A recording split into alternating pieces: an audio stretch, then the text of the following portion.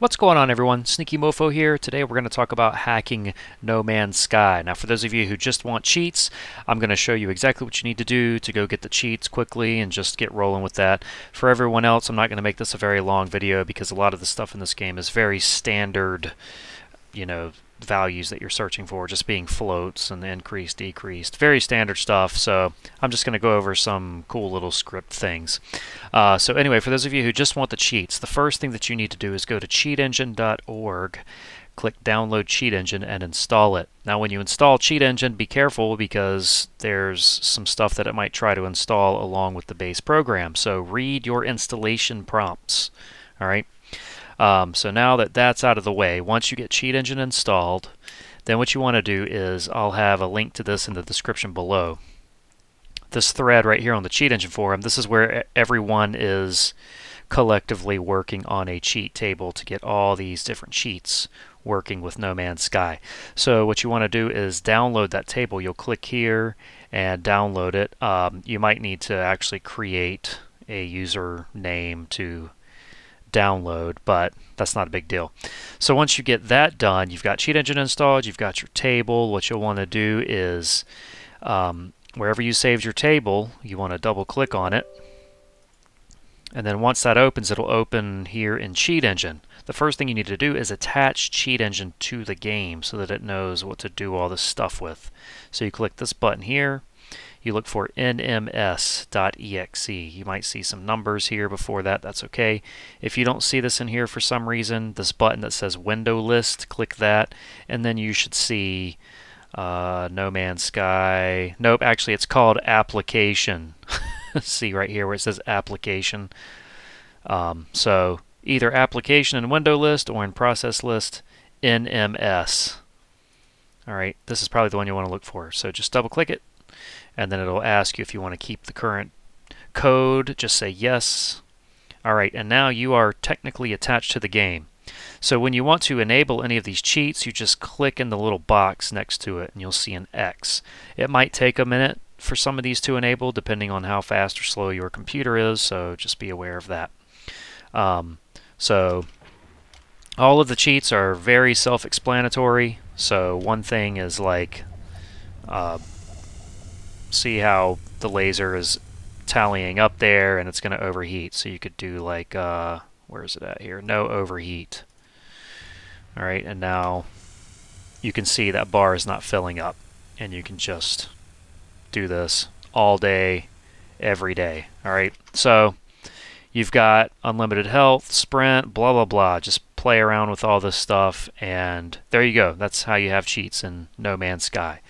Um, all right, so for everyone else who wants to stick around and, yeah, have some fun here. Um, this cheat table, of course, like whenever I get a game like this, I like to go through and do a bunch of stuff myself.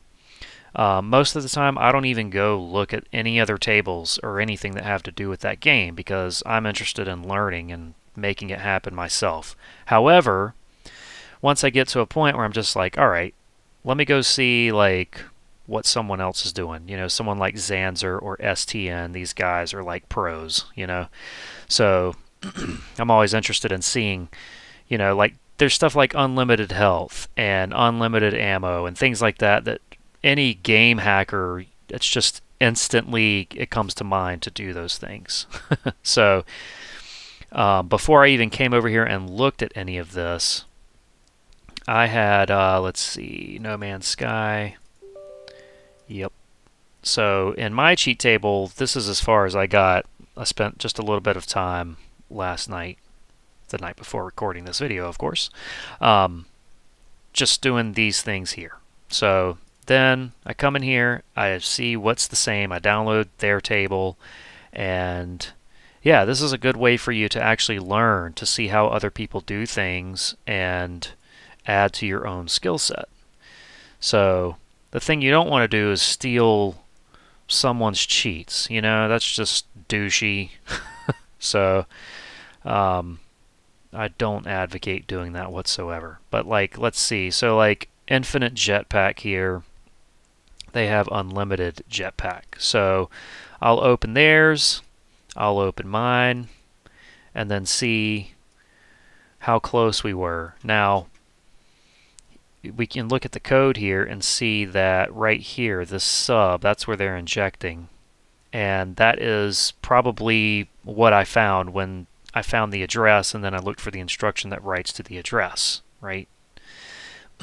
However, where they're just nopping the sub, um, I actually went up and went to this instruction and I changed byte 7.5 here because I did, you know, infinite jetpack minus 2. So I decided to inject here and I went from here to here, right? And I changed that to EB, which is jump. So I changed jump if not equal to jump, always jump. And there's this section of code here that it just completely skips. So um, this is more like I was interested in reading through the code and trying to understand what all is happening through here. This is like, you know, you see the sub instruction, just nop the sub and you're not going to have to worry about it. You know what I mean? So effectively achieving the same thing.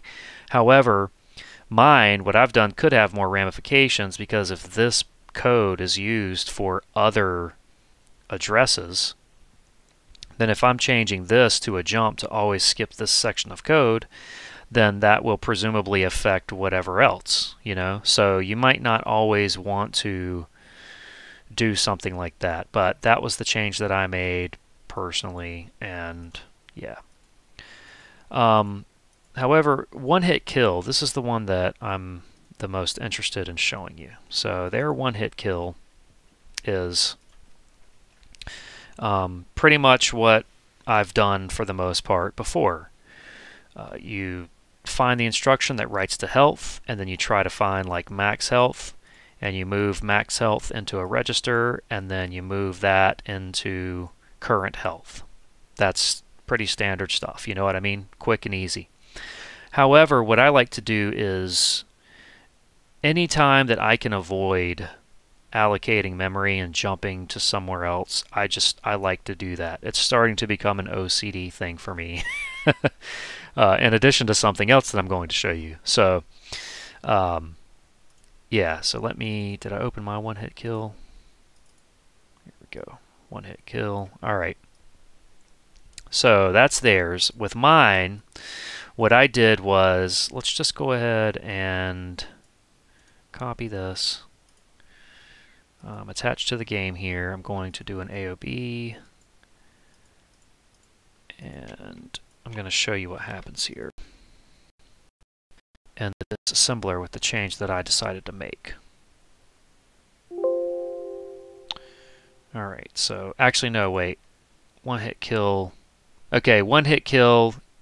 I'm sorry, one hit kill. I just changed the register. I looked to see what was in the contents of the registers. And it turns out that in ECX instead of EAX, um, so basically this byte that I changed, changed this instruction to add ECX to here. And the way the game works is it takes enemy max health and adds it and that's what ends up killing well enemies items like trees and weird rocks and whatever in the game that you're breaking with your laser you one hit kill all of that stuff so instead of allocating memory I went ahead and did a break and trace and changed that register because I saw what was contained in ECX which was the same as max so that's the one hit kill. The one I wanted to show you was infinite resources. So this is actually infinite mining resources, this percentage over here in the game. So with theirs, they have, what is it, unlimited laser beam? I think they might have put it into there. Unlimited laser beam. EAX MM0 sub that. Yeah, okay. So that's what it was. So what they did is they just knocked out this sub. So they did their jump based on here because a jump requires five bytes. So they started it here, one, two, three, four, and then five. Then you'll have two nopped bytes um, if you were going to write a code injection. But with this, they just did the AOB scan and then plus four, one, two, three, four on the fourth byte, they nopped those three. So they nopped the sub. So what that's going to do is successfully keep this from decreasing, right? So you'll have infinite resources. However, this is the OCD thing where like not having 100% here was like driving me crazy. so I wanted to figure out how could I change this, right? So what I decided to do is this is a convert. This instruction here is a convert. So this is actually where I want to go in the disassembler. So I'm going to copy, new scan, paste. And once it pops up here, all right, right click, disassemble this memory region. Now, here, this convert, okay, you can see scalar, single, FP to sign, blah, blah, blah, blah. Basically, this turns a float into an int32. and so, you know, XMM0, you're taking the value out of there, converting it, and storing it in EAX. Then you're subbing EAX from whatever's here. And that's what they did. They nopped this sub. However, since I wanted to nop this sub, we know that we have these three bytes to work with, right? Pointless. This conversion here, you can go down and try to ascertain, all right, well, what happens with EAX after here? Because EAX might still be needed for something, so you don't want to necessarily screw with this. Well, here we see there's a move of 4 into EAX. So this convert happens right here, then the subtraction happens, and then this 4 is moved into EAX. So if we don't want this sub to happen, this instruction is effectively pointless as well because EAX is changed right here. So what does that do for us? That gives us 7 bytes to work with. 7 bytes to do something that we want to do. So what I decided to do was change these two instructions to, let me go ahead and I'm going to uh, attach. I hope this isn't going to screw anything up by having both of these attached. Yep, keep the code list. This is infinite resources. Alright, so if we watch this, you'll see these two instructions change. Alright, so it changed to move C8, which is a value of 200, into RBX plus 18. Now I'm going to disable this. And look here, the sub, we know the sub originally is subtracting EAX from RBX plus 18. So RBX plus 18 has the memory address related to the resources needed, right? So what I wanted to do was move a value that I you know, after playing around with the values, saw that this was the max value, this 200, wherever I saw that at. Um, oh yeah, once we make the change. So basically, I make my cheat write 200. It moves 200 into our address there. So basically, not only am I nopping the sub instruction, so the sub isn't going to happen, but all that's happening now is we're moving this value directly into that address. So now all I got to do is come in here and start firing, and it's at 100%.